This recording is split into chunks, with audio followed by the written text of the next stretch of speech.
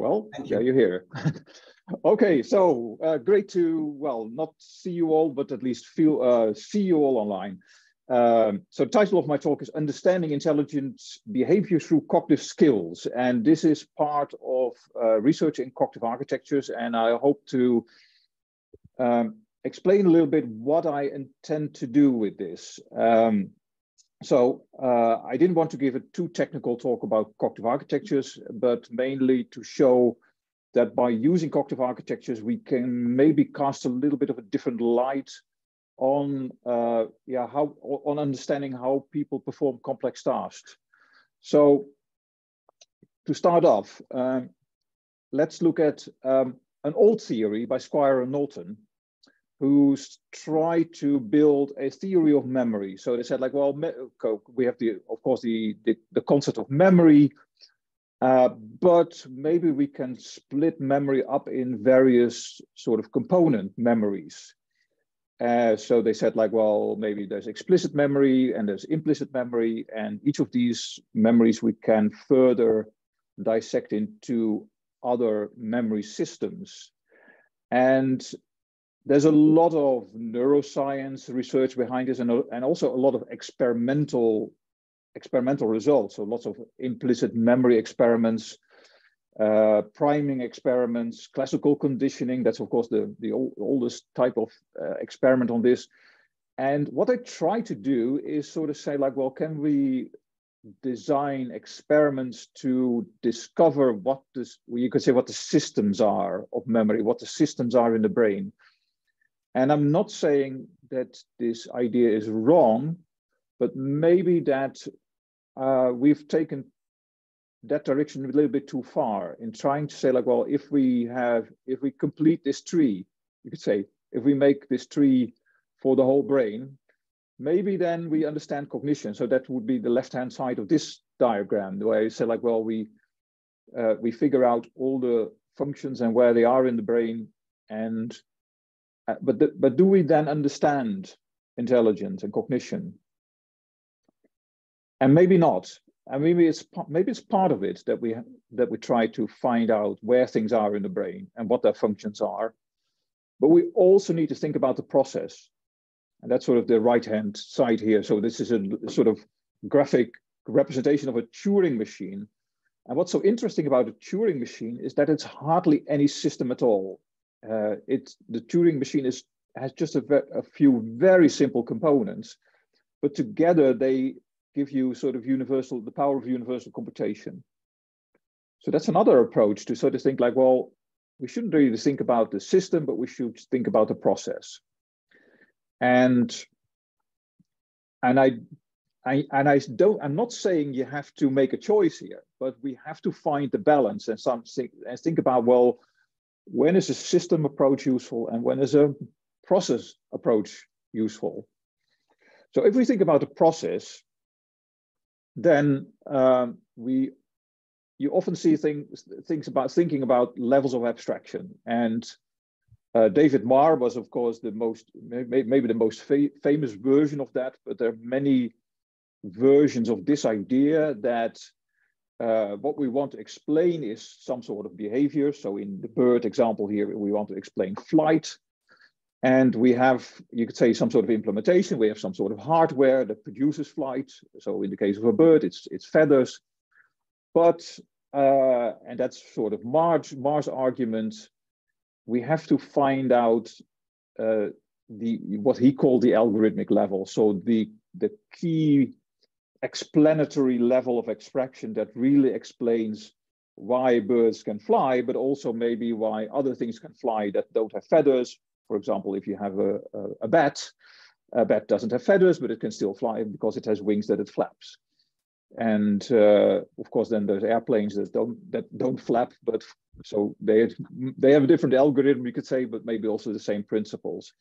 And a lot of the research in cognitive science has been looking at this algorithmic level, like can we find the principles? Uh, and this also has given rise to a lot of debate where people said like, no, symbols, that is the important level of explaining, uh, explaining intelligence. Or neural networks, that is the principal algorithmic level. And the rest is implementation. So that's always like sometimes yeah, people say like, well, this is this is the central thing. And of course, we've in cognitive science, we've many we've seen many of these different ideas about what the algorithmic level is of intelligence. But maybe, and I think that we, we also see now that people start to realize that maybe there is no magic level of abstraction that can explain everything. Um, and even if we look at computer levels of abstraction, so computer architectures. So here, here is a, a diagram from my, when I studied computer science, I learned about computer architectures and I had a very, really great textbook and it explained how a computer is built and it had, here you can see seven levels of abstraction, where each level of abstraction is explained by the level below it. And uh, so you can see here, and, and all these levels are, are essentially eventually to understanding how a computer works. So if we already need seven levels to understand a computer, why do we think three levels are enough to understand human, human intelligence? So this has been, uh, well, the focus of my research the last couple of years, where I thought like, well, what would be good, what would, would be a good human intelligence cognitive architecture diagram instead of thinking about uh, three levels where we just have the brain, we have behavior, and we have some intermediate level. What, what are other levels of abstraction that we can think about, and how do these levels translate into one another? So here's my diagram. And this is a big diagram. Uh, so this is this also violates sort of the rules of presentation. You shouldn't put too much information on one slide. Uh, but I'm not going to explain all of this, but I just wanted to show you uh, sort of a general outline. And uh, what we can see here is sort of different levels of abstraction. And so I want to highlight a few of them. So here are two levels that I would associate with the ACT-R architecture. So maybe you've heard about the ACT-R architecture. So it's John Anderson's theory about intelligent behavior. And what it tries to do is to try to explain how people perform tasks by creating stimulators that consist of what I call operators here. So you could say primitive cognitive steps that you need to perform to carry out a task. So if you, and tasks are often in, well, especially in ACT-R's terms, often what people do in, in, in experiments, in, in psychological experiments. So maybe it's a memory task where they have to, where they have to remember things and then ACT-R explains that by saying like, well, we have operations that put things in memory, that, that, that uh, recall things from memory. And if we understand the sequence of these operators, we can explain how people perform tasks. And by doing that, we can make predictions about how they perform, how what their reaction times are, and what the errors are that they make.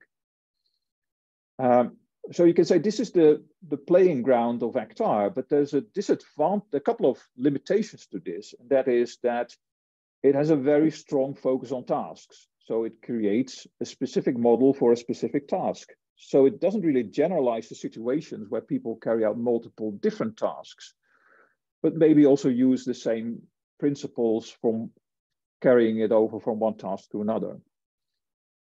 So looking at a different level of abstraction is down here, where we look at neurons. And here I also show neuromorphic architecture, because that's also one of the things that we're working on. It's like, how can you, what is the, what is, you could say, very, the level of abstraction that's really close to, you could say, the hardware. And uh, you can see that many people make very impressive models of uh, with using neural networks. And of course, that's also what we see in the, the enormous revolution we see now in, in, in, in AI in general. Uh, but this is usually also not the best level to understand what is going on uh, on, a, on a higher level. So, uh, of course, deep neural networks do fantastic things, but if we want an explanation of why they're doing certain things, then we, are, we have a tough problem on our, on our hands.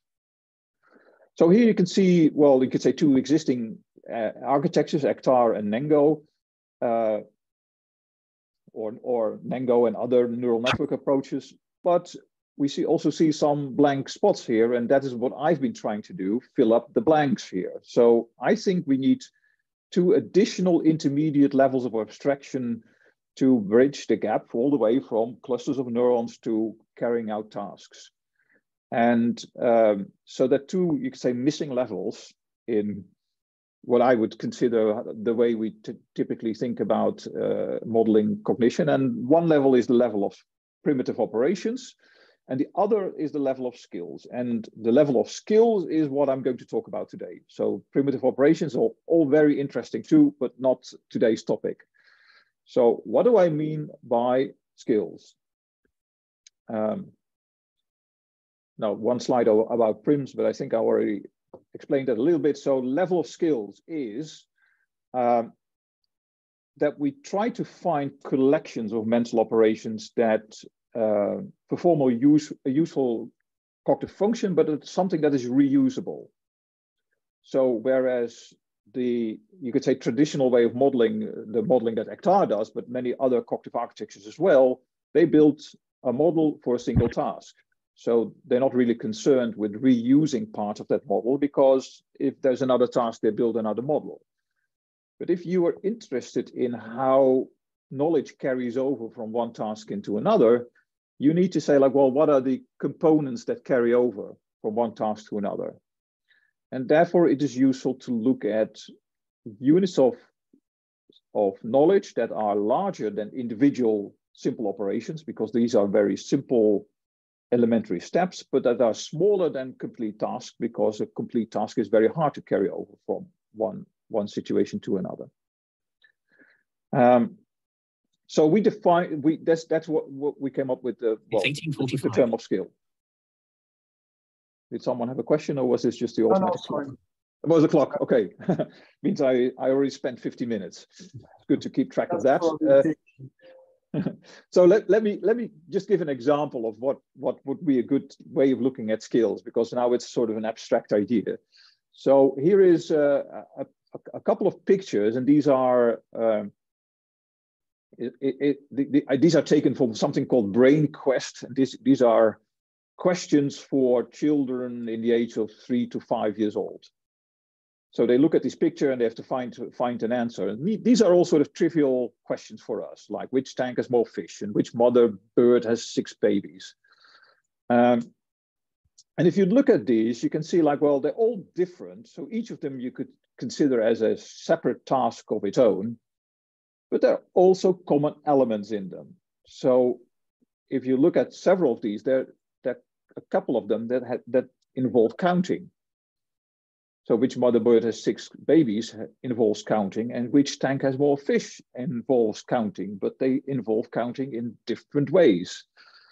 Uh, there's also reasoning about properties, like, well, what's a what's a baby or what's uh, on a picture uh, or which animal eats meat or which animals do not have hooves. So this reasoning about properties. And what we can do is try to sort of dissect these individual little mini tasks into, well, what, what component skills are there? So um, if we want to do a more fish task, we can, of course, create a model that just does that task. We can also say like, well, maybe that is a composition of a count goal and a goal that can that decides whether something is more than something else and um, maybe it also involves reasoning about certain attributes of the fish i guess this is a I, what i modeled is which tank has more red fish i guess that's a sort of slightly different question so if we can do this kind of analysis to, to, to split up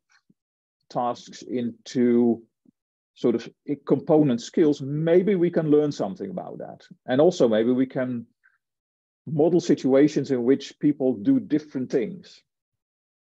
Now, this is of course, uh, well, this, this is not a, I actually created all these models that you see here and you have models that perform these tasks, but of course it's, we cannot connect these to data because we don't have uh, data on these, uh, on, performing these tasks. So let's move to sort of testing these ideas in a, a couple of different experimental paradigms. Um, so the first paradigm I want to look at is the so-called rapid instructed task learning experiments or RITL tasks. Uh, and the idea has been uh, coined by Matthew Cole and his colleagues. And here you see uh, an example of one of these experiments. And the key idea in these experiments is that we give subjects in these experiments a new task on every trial. So normally in standard experiments, people do the same thing all the time.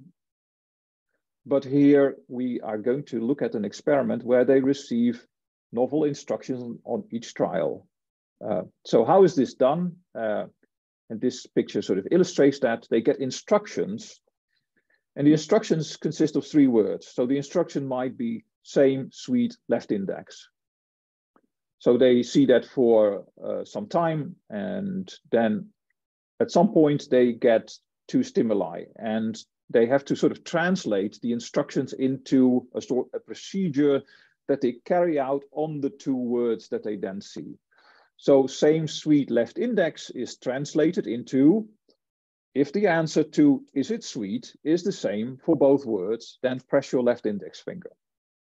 So in this case, we would say, uh, okay, grape is sweet, apple is sweet, so we have to press the left index finger.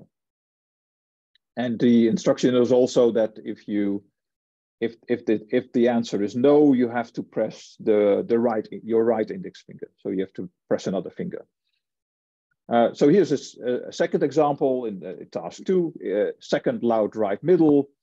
Then that translates into if the answer is is it loud, is yes for the second word, then press your right middle finger. So here you have to ignore the leaf and say, okay, dynamite is loud. So we press the right middle finger. Uh, and for each of these three instruction words, there can be three different tasks or four different tasks. So the same, the second and the two others. There are four possible attributes like sweet, loud, and two others. And the four possible fingers that you can press. So that means there are 64 different tasks. Of course, they're not completely different from one another, but uh, they require some sort of, say, mental reconfiguration every time you see one. So just to uh, pay, see whether you all paid attention, let me let's look at an example. Just one loud left middle. middle. So you, I, I give you all a couple of seconds to sort of mentally prepare for you for the stimulus. Just one loud left middle. And now the fixation cross comes up and here are the stimuli, drums and mice.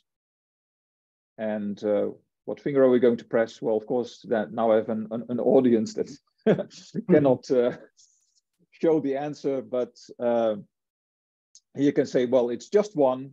Uh, well, drums are loud, mice are, well, uh, not loud. Let's say they're not loud.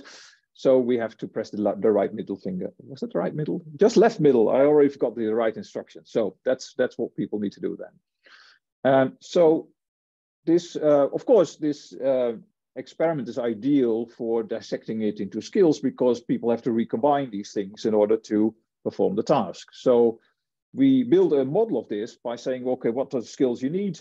You need a skill for deciding same, just one, second or not second. Those are the four, as you could say, logical operations.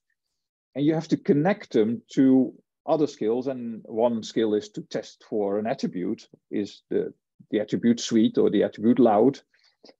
And then we need a skill that, that pushes the button, but the, the, the right finger or uses the right fingers to push buttons.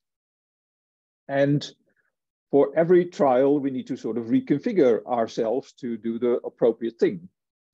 Uh, so we cannot expect people to cough up in the few seconds they need to do this, uh, a, whole set of production rules or operations to do this. They have to already use you could say some ready-made pieces and connect them together. So for and and this is what I would call a skill level model where we we're we're assuming people already have the right operations to judge whether something is the same or not and to test attributes and to push buttons. They just need to reconnect those in a novel way. And you can think about it as so an analogy would be language. What we do with language is also that we recombine words in novel ways to create new meaning. And that's what we do here with skills. We recombine them in novel ways to create new tasks that we've never done before. So for um, this, this particular task, we would say, okay, this is the little memory structure that we need to create, that we need to prepare for if we have the same sweet left index uh, instruction. We need to say, okay, we have to we have we have to make a same judgment. What is it that we need to do this same judgment on? On something where we determine attributes, and in this case, it's it's it's instantiated with sweet. And then we have a yes response and a no response. And the yes response is to press the left index finger or to press the right index finger. And same is, is, a, is a sort of more general skill that we could compare, connect to completely different things than motor skills or determining attributes. So it's a reusable component that could be useful for other things as well. But here we use it for this particular exper experimental task. And you could say this is sort of one-shot learning. We, we just build this thing in our memories and then we can do the task. Uh, now, in order to do this as a complete model, we, it's, it looks like this. So it's a whole Christmas tree of, uh, of skills here. So all these, these pentagons are skills. We have uh, the, the skills for, uh, for the judging whether something is the same, for whether it's just one, for check second and negate second. Those are the four logical operations. And then we have we are responding by pressing with fingers and determining attributes and all these little other circles you see here are the operations that make up this, this particular skill. And then, of course, we need to interpret this instruction, which is a little, little separate subskill in itself that probably I haven't really properly modeled yet because, because that requires a lot more understanding so this is a whole yeah and and of course i could go into a lot of detail about these uh, how what these skills are like but i really like to keep a sort of uh, well yeah a global view because that's also the idea about skills. We're not really concerned about what these skills are made up from uh, uh as long as we can do it as long as we can implement it. So um, as a sort of testable a first test of well this is does this approach work uh, I modeled uh, some data by Cole and colleagues where they gave people a limited time to study these instructions. So they got the three words that made up the instruction and uh, they had either 1100, 1900 or 2700 milliseconds to study the instruction and then they got the stimuli and they had to respond within 1500 milliseconds. So the idea is that if you have properly prepared yourself for the task, you can make a response within 1500 milliseconds, but if you're not prepared yet, you'll probably make a mistake. And this is what you can see here in the data. So if we look at the red line, so those are the novel stimuli, the novel instructions, then you can see if you if you give people 1100 milliseconds, they're, they only have a, have a 55% accuracy. And note that there are only two fingers you can press, so the there's a that's that's just above chance level that they respond. Uh, but as as they get more time, their their accuracy goes up, and you can also see that they like looked at self-paced. That's when you can study the instructions as long as you want, and and then people are are reasonably accurate, although although they can they still make some mistakes. And in this experiment, they compared two conditions. One, what the novel instruction, so they get an instruction, a combination of the three words that they have never seen before. But they also sometimes get uh, instructions that they have seen very often already. So it's called praxis here, but they're, they're not aware that it's something that they've seen before, but it just happens to be something that they've seen already multiple times. And you can see that if they if, if they have to do a task that they've done multiple times, they are more accurate. So that's uh, that was our challenge to model this. Um, and the challenge is uh, how can you build this little memory structure within the allotted time, the 1100 milliseconds or the 1800 milliseconds or the 2700 milliseconds. I think those were the times. And um, we did that by modeling. Uh, we, we were assuming that the model accumulates reusable building blocks when it has to do this task. So initially it has to build up this whole structure. But maybe at some point it already has the building block determine attribute sweet ready. So it, it can reuse the determine attribute sweet part even with a different logical operation. And of course, if if the task is is completely the same, it can it can retrieve this whole structure from memory, assuming it hasn't decayed very much. Uh, so that is the basis for this model. We said like, okay, we we the people gradually build up these building blocks, and that makes them fast enough to build this within this very limited time. May I just very briefly inject here, Niels? Yeah, sure just for those who are not uh, uh, so well accustomed to the notion of a cognitive architecture, it is important to point out that in cognitive architectures, the program, the, the environment in which the program executes is uh, uh bound by, uh, um, by, by, by a certain characteristics of human performance. So the architecture cannot execute as quickly as you want. And it's also, on the other hand, it is not subject to uh, uh, the particular uh, abilities of the particular hardware on which you happen to be running your models. Uh, so for instance, also in uh, the, the one, one, one typical element is a fixed cycle time at which operations are carried out. And maybe Niels, you can spend just very, very briefly characterize uh, uh, what the situation is in Prims in terms of right yeah so so so good question good question yeah so so uh, this is always the risk if you if you if you're so intimately yeah, yeah knowledge no, about the thing you're doing and you're uh, you don't realize your audience is not that knowledge so the idea is that uh, and this is so in the prims architecture actually borrows a lot of concepts from ACT-R and one of the things is that mental operations take time. So recalling something from memory takes time because items in memory have a certain activation and this activation determines how much time it takes to recall it.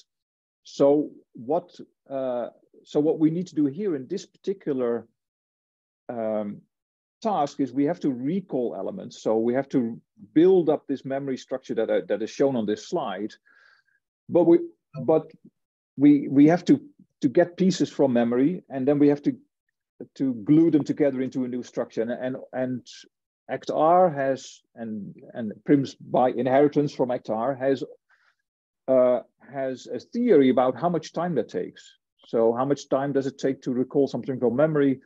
How much time does it take to build one of these little memory nodes? And um, and those are at some point hard constraints. So you cannot say, well, this is something we can build in half a second. No, that's that's not something that is possible then. So we have to abide, you could say, by the underlying rules that we have determined about what memory is like. So again, here we see the, the different layers of this architecture that at the layer of the skills, we're not uh, looking at sort of these more primitive mechanisms of, of memory activation, but because those happen on a lower level, they still affect us. So if we say like we want to build this memory structure, the underlying levels tell us, well, this takes time. And here, and and we can make mistakes. We can have misretrievals of memory. We can have memory mis memory faults, and uh, and eventually this helps us make make predictions. Um, and again, if, if uh, please also for other members of the audience, please uh, um, please interrupt me if things become really unclear. Um, see, oh. I, have just opened up the meeting chat thing so I can also keep an, an eye on that. You're on the show. yes, I see. Uh, so, so there's a question from uh, Irina. I see whether this translates to multiple modalities, so visual versus audio input. Um, now, the model doesn't really make a distinction here between visual and audio input, but the underlying architecture does. So uh, we've done many multitasking experiments where it really matters what the input modality is because we can more or less process visual and, and auditory information in parallel under certain circumstances, but not under all circumstances. But I guess that's a whole whole different different story. Um, okay, maybe back to this particular model. Hmm. Uh, so we build this memory structure. If we are ready for it, the, the, architecture can give a correct answer, but maybe the architecture is too slow, the, and uh, and then the model predicts that the the, the model will also make a mistake. So we can uh, Um, yeah, this is actually what I already told you. So here is something that comes out of the model where we where we have the data. Uh, so those are the uh, the dash no the the solid lines, and this is a run of the model uh, with the with the dashed lines. Now you can see here this is not a perfect model fit, uh, and actually I haven't in the in the end not really tried to tweak parameters until I uh, get a completely accurate fit of the data.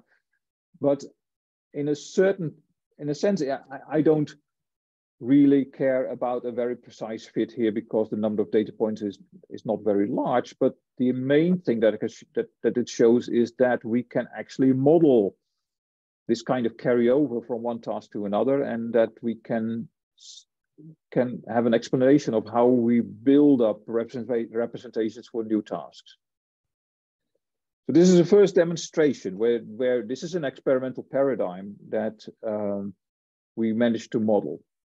But we have a more general agenda. So the more general agenda is to say, like, can, can we maybe start building a, you could say a sort of general per skill lab, general purpose skill library. So we have a, we have a whole library of skills. And then we have a new, and when we have a new experiment, we can say, well, we don't, we're not going to build up a model from scratch. No, we, we're looking at our skill library and pull a, pull a couple of skills out and say like, well, we, we instantiate these together and that gives us a model of this new task because that's what people do. If you put them in an experiment, they generally, you give them an instruction and they can immediately do the task. It's not that they have to completely figure out from scratch how to do it. Sometimes that is the case. There's some experiments where people really have to figure out how to do them. Uh, if you're familiar with the n-back task, that's a, a, working memory task, you might, and you've ever been a, you've ever, you've tried out that task, you might have figured, you, you might know that you really need to figure out a strategy for that. And that is sometimes the case, that we actually have to learn something new from the bottom up. But in many situations, we don't need to do that. We, we know we get an instruction and we know what to do. So let's look at very traditional cognitive psychology example, working memory. And this is something that my PhD student, Corné Hoekstra, has worked on.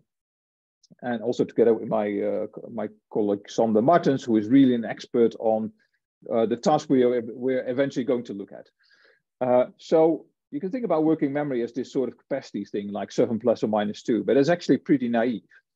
And uh, if you look at memory processes, there's often, uh, you will read about chunking information. That if we have to remember a couple of unrelated things, we make little chunks in our, in our memory. But this chunking idea is not always applicable. So you can say like, well, if I, if I just look at how, how can you store memory in, in your long-term memory? You can do it in chunks where you group things together, or you can do it separate. So if we look at memory experiments where people have to memorize numbers, then often they do some sort of chunking. So here is a this is actually my office phone number. Uh, and this is chunked up in three pieces, the area code for Groningen, the, uh, the uh, digits for the three numbers that signify it's a university phone number 363, and then 6435, that's just my office. And that's three chunks, and people who know Groningen or who know the university are perfect at chunking this, but even people who have to memorize longer numbers have a tendency to build these, to chunk these. But chunking is not always possible. And uh, in psychology, often we study complex working memory tasks where we give people one piece of information they have to memorize and then they have to do something else. And then we give them another piece and they let them do something else. So they just get the little pieces of information that they have to memorize in between other things. So chunking is not really an option there. So they, or at least putting things together. So the only way to do that is to put everything in separate chunks. And if you look at models of working memory, so there, there are tons of ACT-R models on memory tasks that sometimes people opt for a chunking strategy and sometimes they opt for a separate chunk strategy. And um, so Corné said like, well, or, in the project with Corné, we said like, okay, let's make these separate skills. We have a, a chunking skill and we have a separate chunking skill.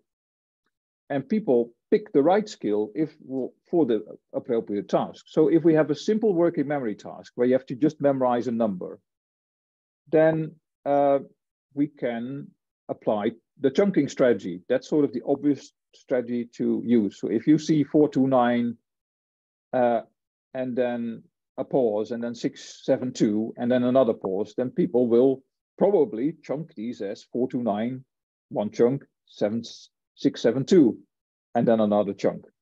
And if they, if they have to reproduce it, they will just recall these separate chunks. And indeed, there's lots of experimental evidence that people actually do this. So if you look at the little graph at the bottom, uh, in the data, that's the solid line. If, the, if people reproduce a, in this case, a nine digit sequence, they do this by, and that's the reaction times.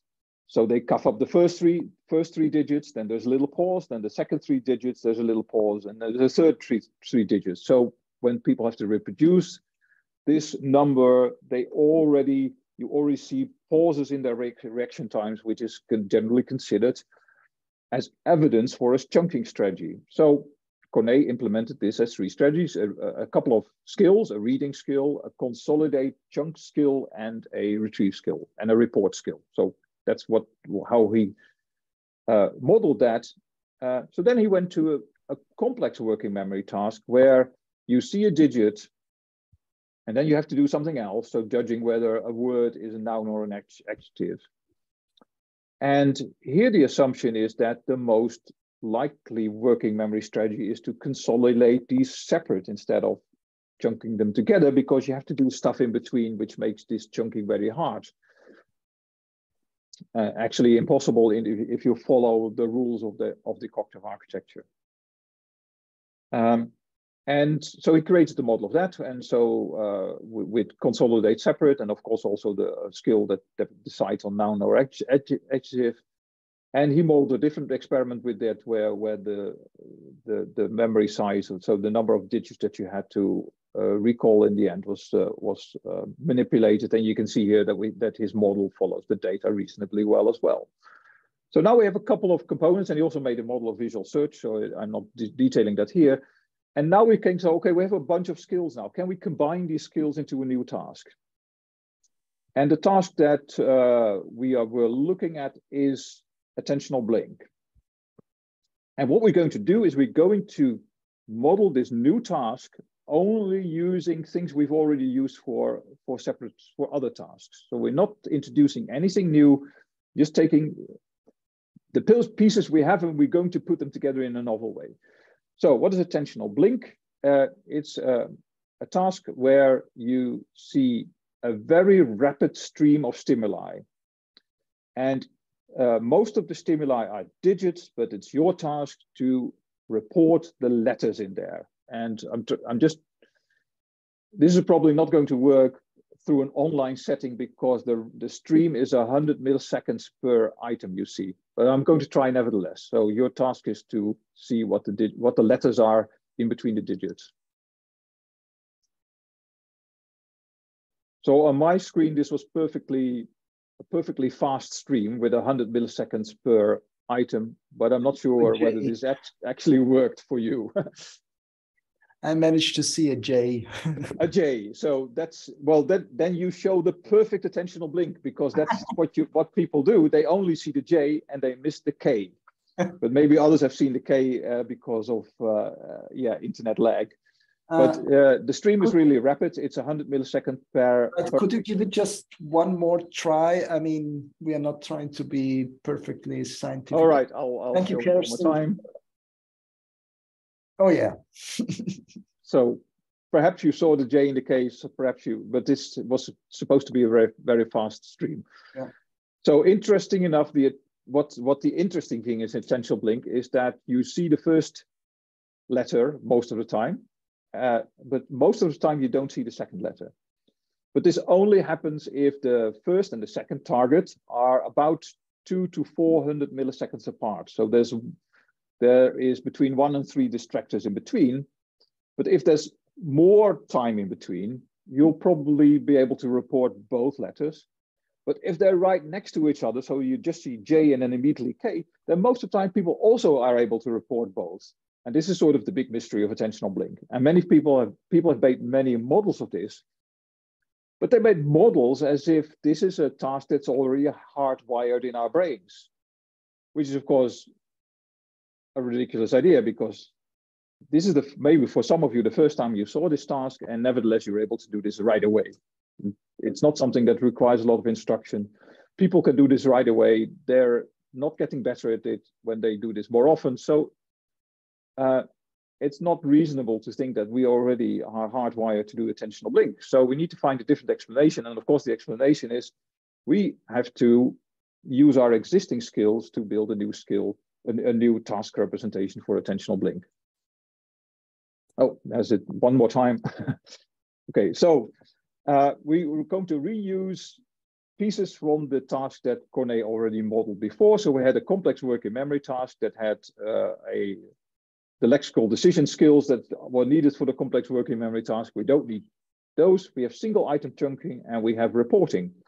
Then we have visual a visual search task. Well, actually didn't show that, but uh, visual search has a uh, moving attention around the screen and also identify whether something is a target. Um, so what we can do is say, well, we build a model of attentional blink and we're going to reuse the identify skill of the visual search task because we have to identify whether or not something is a target, a letter and not a digit. And then we're going to do single item chunking. So every item we're going to um, store separately in our memory. And of course, we need to report the, the digits eventually. Now, most people don't consider attentional blink as a working memory task because uh, the span is only two. That is trivial. But here we're still going to see this as a as a as using working memory as part of the task. Now, if we create a model of attentional blink using these three components, then this is the result. So you can see here the task, uh, you see this rapid stream. So this uh, the, in these example, the T and the A are the two targets. So if we look at the skills that we're using, well, first we're looking for targets. That's this, the active skill. Then there's a first target, and we see the T. And now we're going to consolidate as a separate item in memory. Now, ACT-R dictates that memory consolidation takes time. Actually, they have a pretty solid prediction on that. It takes 200 milliseconds, which means that within these 200 milliseconds, we're going to miss the second target, the A. And then we start looking for targets again, but there will be no more targets. And then we retrieve and report. And in this case, we would only report this, the first digit. Now here, the graph below, you can see the typical experimental result. And this is the, um, the results where we look, uh, uh, the lag is sort of the distance between the first and the second target. So if they're right next to each other, that's the data point on the left, then the accuracy is pretty high it goes down to two to when when when there's a an, a distractor in between, and then it gradually goes up uh, as there's more distance between the two targets. And you can see here that the model uh, does a very good job at modeling the data, even though this model is just made out of components of different tasks. So you can say, well, attentional blink is not a limitation of our cognitive system. It is just a choice of the wrong working memory strategy. Because if we choose the right working memory strategy, and it's this diagram, if we if we say, well, we're going to do, we if we pick the chunking strategy as opposed to the uh, the separate chunk strategy, then there's no attentional blink. And you might say, okay, but why why don't people do that? Why don't they pick the right strategy? And we think it's due to the instructions. The instructions say, well, report the, the items, there's stuff in between. So people sort of automatically pick the wrong strategy. So is it possible to push people to the right strategy? And indeed, this is possible. So uh, what you see here as data in the graph is actually from an experiment where people receive a different instruction. So it, the instruction is not report the letters, but the instruction is report the syllable that's in the stream. So in this case, you have to, would have to report ta. And the instruction of, re of reporting a syllable sort of prompts the chunking strategy as opposed to this separate strategy. So, and you can see here that this is a very powerful ma manipulation, and it and and that means that um, uh, and and there are other sort of experimental manipulations in which you can make the attentional blink effect go away. So uh, here you can see that by using this particular paradigm of skills, we can explain things about attentional blink that other models cannot explain because they never consider building, building up a model out of components from other tasks. Okay, I'm looking at the time. I see that I'm, I've used up my 45 minutes. And of course, I don't want to keep no one is complaining from dinner. so I want to, well, I have a final example, but I, I want to go over this very quickly because as I said, sure. I don't want to keep you from dinner. Uh, yeah, right. But don't rush it because it, it, it would be a loss anyway. So yeah, so I and I agree with you. Rushing rushing the last bit of your talk that you're desperate in trying to present is also not a good idea. Exactly. So I briefly I, want to look at another sort of system. Uh, because I, in, in the start of my talk, I talked about systems, right? That, that psychologists sometimes want to look at, well, what is the system behind it? and then sometimes they don't look at sort of alternatives. So uh, one other prime example where people look at systems is executive control. Um, now you want to, so what is executive control? And this is actually a big, super vague concept in, in cognitive psychology. Uh, but it's sort of the idea like how, how do we control our cognition? So you might already say like interpreting instructions is a form of executive control because we have to reconfigure ourselves to do a particular task. Um, but this is very broad, and that's also something that often in, in cognitive psychology we don't like. So we want to try to, to reduce it to its essence. So there's been lots of experiments that people associate with executive control. And uh, uh, Miyake has already done a, a huge individual differences study on executive control. And he said like, well, there's three main factors in executive control. And he called them shifting, updating, and inhibition. So shifting is often uh, is associated with something called task switching in um, in cognitive psychology, and that's the idea that if you change from one task to another, there's a cost involved. So if you do one task and now you have to do something else, it, it, there's a cost in that. And we've seen something like that in the rapid instruction task learning that indeed we have to, if you have to prepare for a new task, there is a cost involved because you have to build up this memory structure. So that's one element of, of executive control. The second element of executive control is updating, and this is associated with anything related to working memory. So not just this idea of capacity, but also deciding what what are things that we need to store in declarative memory, and maybe also deciding what what the right strategy is. And the third element of cognitive executive control is inhibition.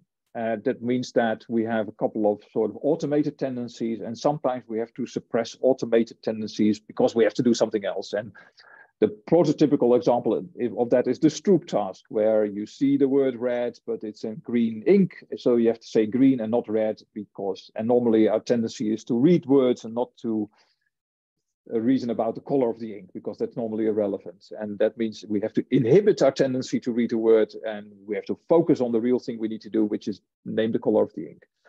And so Miyake has done a, a big experiment in which uh, hundreds of, of subjects had to do all these nine tasks. And he did a complicated statistical analysis in, in, on this where he said like, well, these are the three factors that are in there. And you can, uh, um, but then the tendency is to think like, oh, maybe we have systems for shifting, updating, and inhibition. And and maybe that is maybe maybe there is there is some component of that, but we also have to think about it. Maybe this is also related to strategy. So um, we well, we, first of all, we we did a big experiment ourselves of Miyake's trying to replicate Miyake with well with eight tasks of uh, of where we had th three tasks or two tasks for in, for inhibition for each of these different factors. Uh, well, we this was not the best experiment. In the end, we didn't have enough subjects. So here you can see some correlations. They're not perfect. Actually, Miyake has better, uh, better results, but we wanted our, some data of ourselves. So here you could see the green correlations related to task switching, in the yellow uh, re correlations related to uh, working memory, and the, the, the orange related to inhibition. And it's not this is not a perfect experimental results, but at least we had some data to play with. So we never published these data because we're not happy with them. Uh, but at least we we had some basis for this. Could you just very briefly explain yeah. the task seven, the anti-saccade? Uh, yeah, so anti-saccade, it's typically people see a fixation, see um, they're primed by an arrow, so maybe an arrow to the left. Mm -hmm. uh, and um, but so they expect a stimulus to appear on the left side of the screen uh, and it will appear there most of the time, but sometimes it appears on the right side of the screen. Right. So it's, it's so uh, I'm not 100% sure whether I actually tell the right experiment here because this is a this is a while bit when we did this, but it's considered a typical inhibition experiment where you tend to want to move your eyes to where arrows point, but sometimes you have to do the the the, the, the diff a different thing. Mm -hmm. um, so not a, but we also saw some interesting correlations where the Stroop task also correlated with uh, task switching, which is sort of well, sort of we could say out of factor mm -hmm. uh, uh, effects. So uh, my student Corné again made models of all these tasks, and uh, and of course there's lots of lots of models because eight models and and eight results. So he has lots of graphs. So I, definitely not pasted all these graphs in my presentation here, but here's just a an example of how he tried to have this. These are the three uh, working memory tasks. So he tried to model these by again dissecting them into skills like an updating skill, a response skill, and a read skill, and some sometimes uh, some specific skills for the task. So again, he did the exercise that we also did with the attentional blinkers. So like, well, can we explain all these nine tasks with a limited subset of tasks uh, uh, or skills? So that's what he did here. And then he showed that he could make fits of individual individual tasks. So here just, uh, again, these three working memory tasks where he could uh, obtain good fits of the data, at least the data that we collected.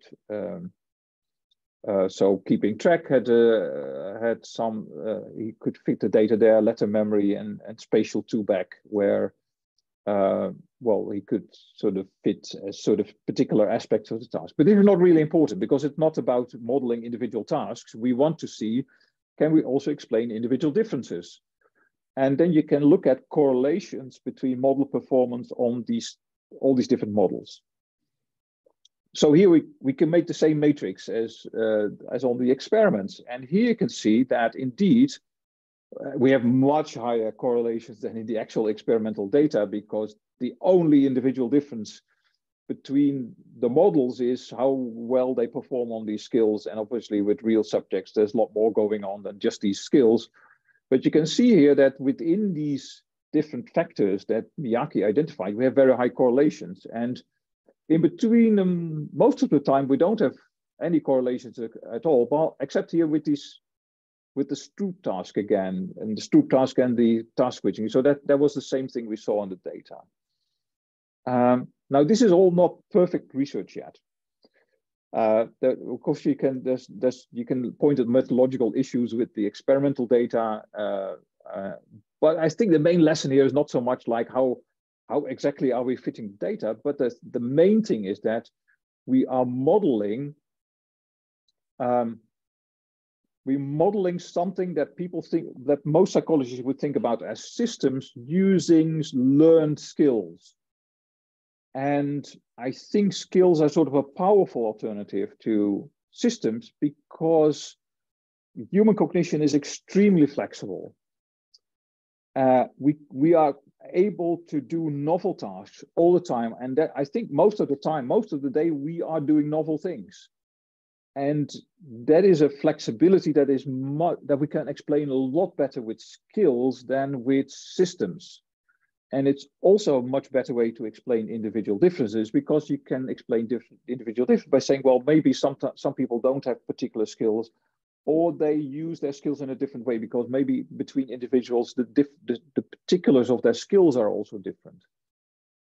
And um, well, one of the things we start to do is use this concept of skills to look at education, to sort of think like, well, if, if if students have to master a new domain, they have to acquire the necessary skills for that domain, but they may also need skills that are more general, maybe uh, maybe particular reading skills that are necessary for mathematics or uh, particular general reasoning skills for say a logic course. Uh, so I think that that perspective is really useful in in also in application that we we start looking into that.